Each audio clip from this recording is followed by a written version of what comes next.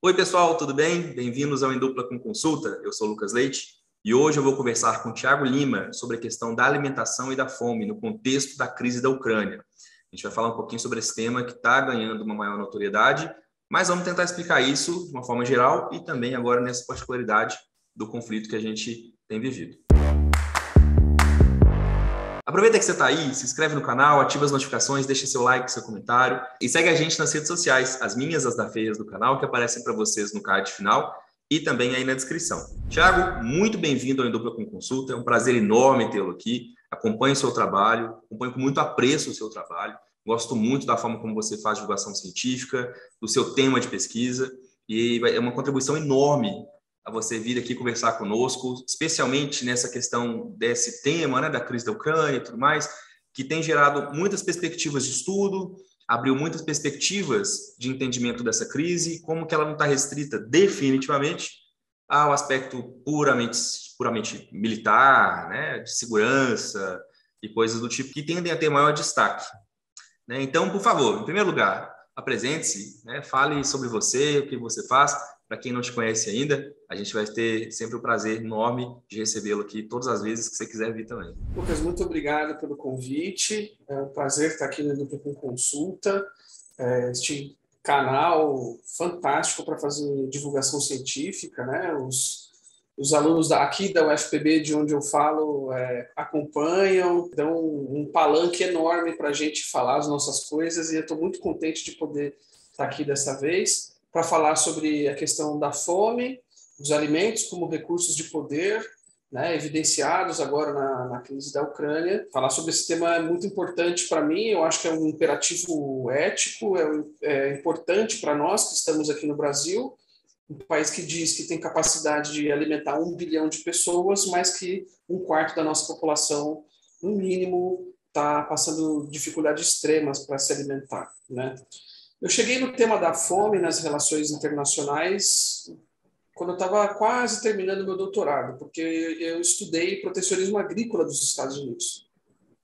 E ao estudar o protecionismo agrícola pela perspectiva do lobby, os conflitos da OMC, aquela coisa toda tal, eu topei com o conceito de segurança, de soberania alimentar, em 2012 mais ou menos.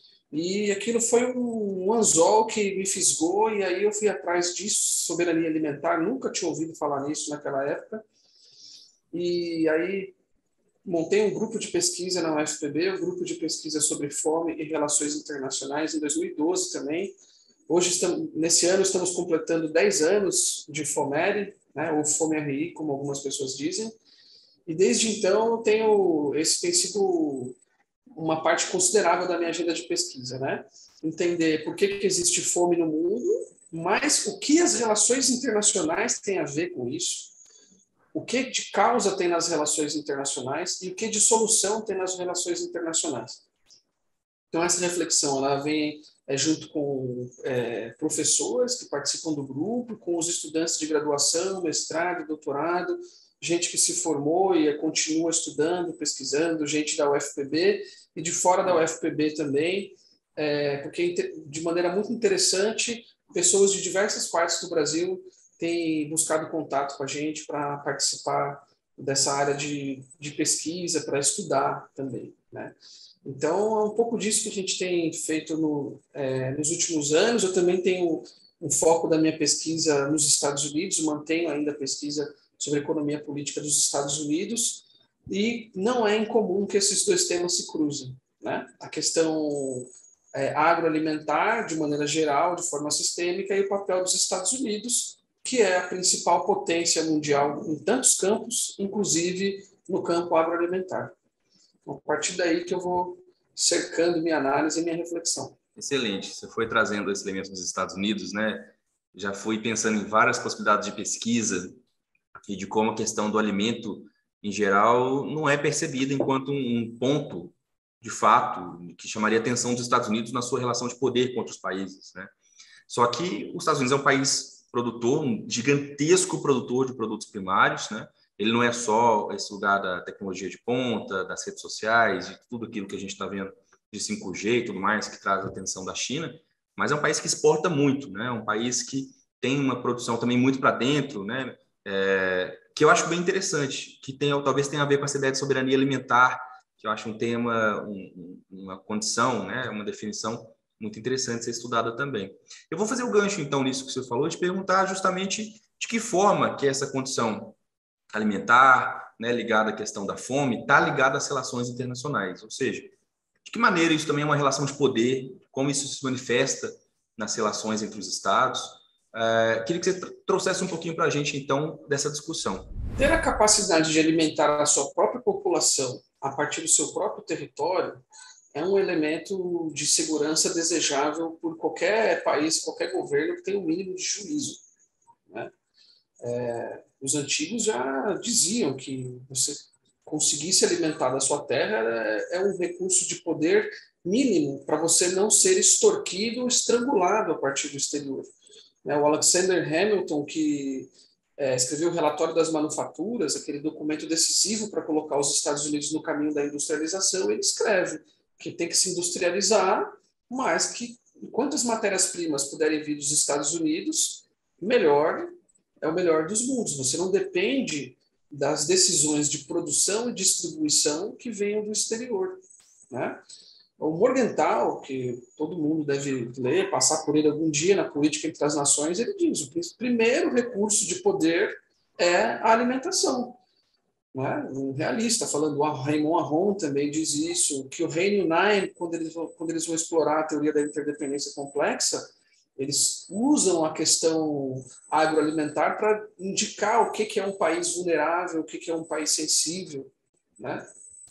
O Josué de Castro, autor brasileiro, né, médico, geógrafo, é, intelectual daquele tipo multidisciplinar, ele enfatizava o como que, o quanto que a colonização ela imputa a fome sobre os outros países como uma forma de dominação social. Né?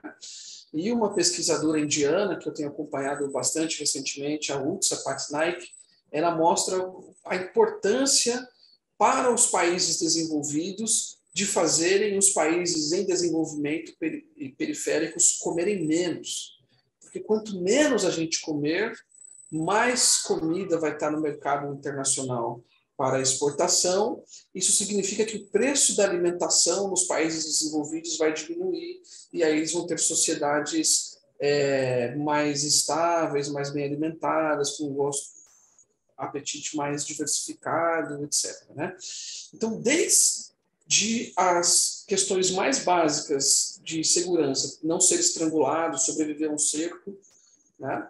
por exemplo, a, a Inglaterra para sobreviver ao cerco napoleônico não foi fácil, né?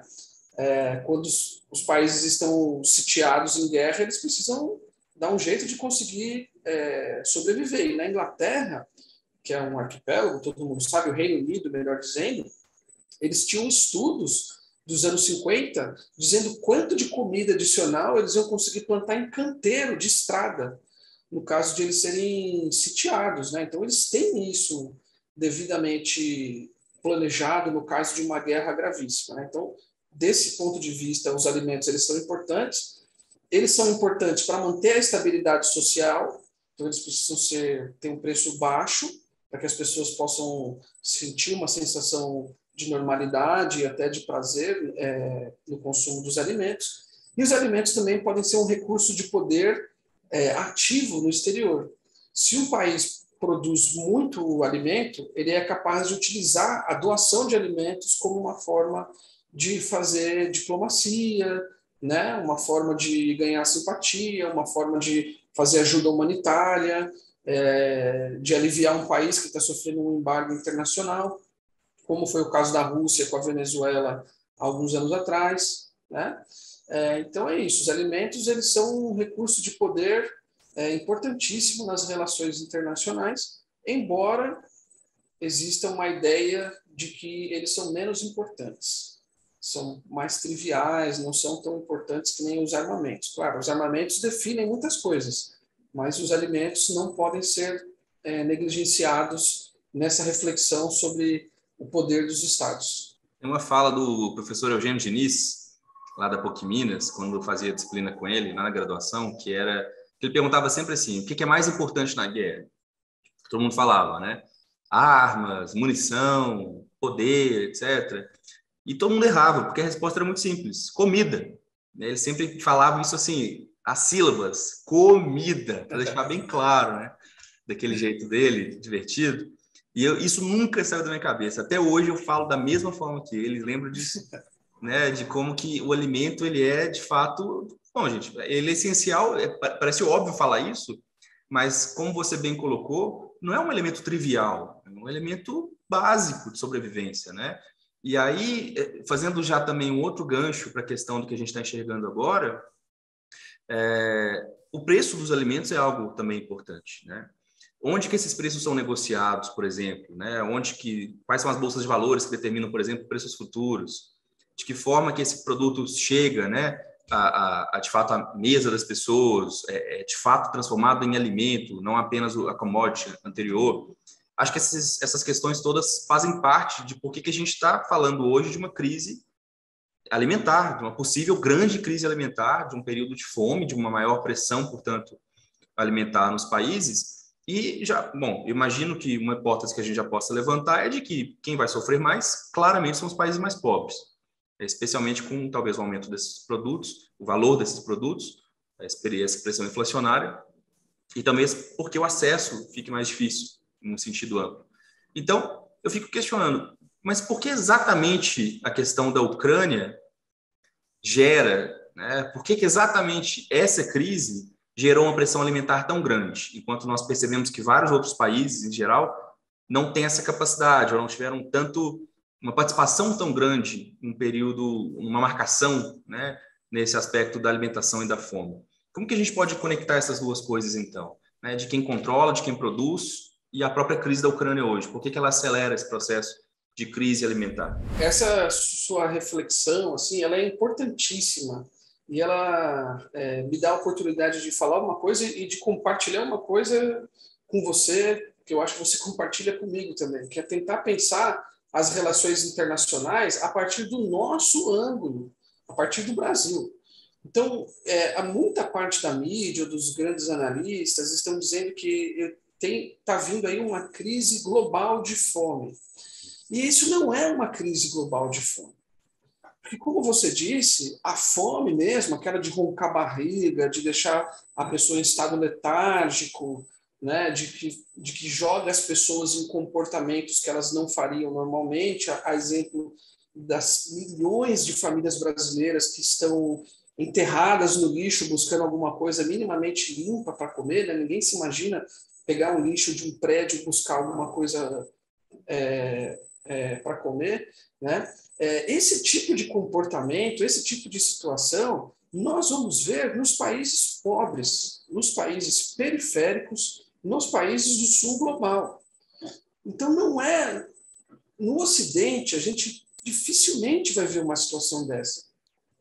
A gente vai ver uma situação dessa onde? No resto, naquilo que não é o Ocidente.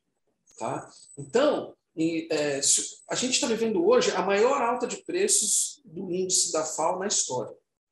De 2020 para 2021, ele saltou 20, mais de 20%. Então, imagina o, o problema que isso é para as pessoas mais pobres. Então, quando o preço da comida sobe para sobe para as pessoas mais pobres, significa que primeiro elas vão pular uma refeição. Segundo, as mães vão deixar de comer para dar para os filhos comer. Isso se a sociedade não for muito machista, e as mulheres também tiverem que abrir mão de se alimentar para os homens comerem. Né?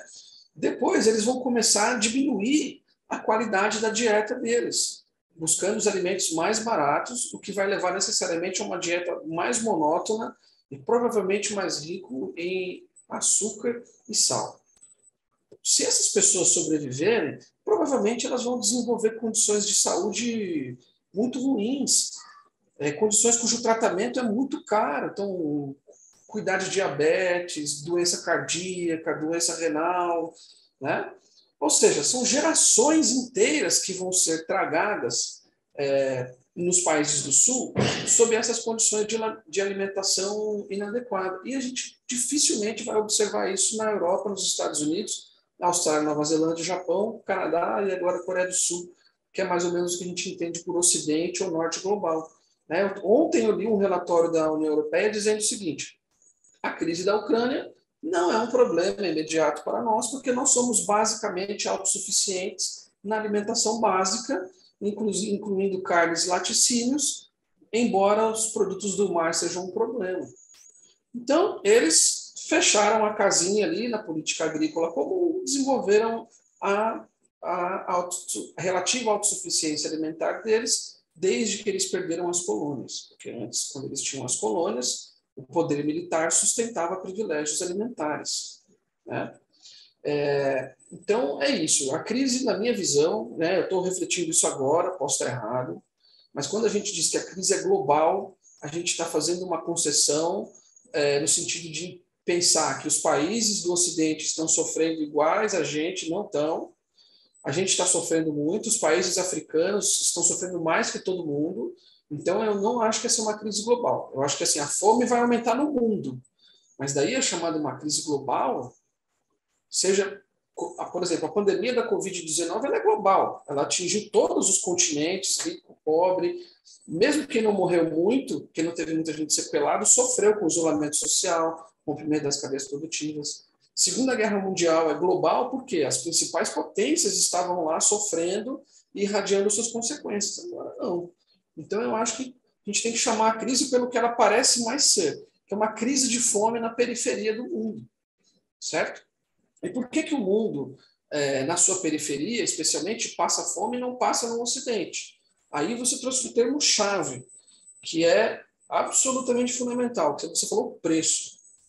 Então, uma das principais engenharias que é, vem junto com a, a, difusão do sistema internacional a partir daquela península da Eurásia, que é a Europa, o resto do mundo, uma coisa que eles difundem junto com a ideia de soberania, um sistema interestatal reportado, né, que separa as pessoas por uma lealdade inventada.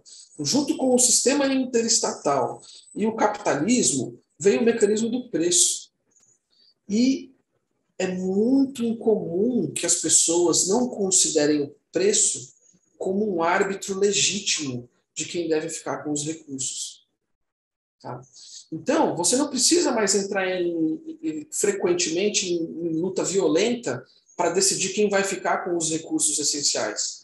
Essa luta já está arbitrada pelo preço. Né? Você pode, você paga. Você não pode, você fica sem e aceita as consequências. É, a gente sabe que o sistema capitalista está baseado, baseado na vulnerabilização artificial das pessoas. Toda pessoa é um ser do planeta Terra, você é um ser orgânico do planeta, você não pode viver fora do planeta, você só pode viver no planeta. Mas uma ideia política, ou seja, uma decisão é, amplamente compartilhada e amparada pelos institu pelas instituições do Estado, impedem você de acessar a natureza para sobreviver. Então, você consegue acessar a natureza para sobreviver através de um árbitro, e esse árbitro é o preço. Quem vence a disputa em torno do preço não é quem precisa mais daquele recurso, é quem tem mais dinheiro.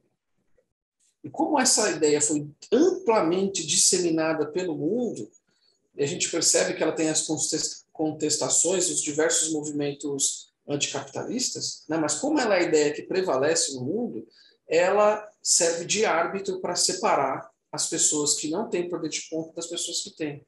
E as pessoas que têm poder de compra estão geralmente é, a salvo da fome, é, a não ser em caso de guerra física mesmo, no caso da Ucrânia, né, e tal, mas elas estão a, a, a, salvo da fome nesse sentido mais, mais bruto do termo. Né? É, então é isso. É, nós vivemos, o sistema internacional está calcado neste princípio. A disputa pelos recursos é arbitrada pelo poder de compra. E isso é eticamente é, ruim, eu penso. o desenvolvimento de uma concepção mais humana seria quem precisa mais do recurso fica com o recurso, no caso dos alimentos. A gente vive num mundo em que, sem ser sensacionalista, tá? Eu, eu digo isso, né? as pessoas acham que eu estou apelando, mas eu não estou.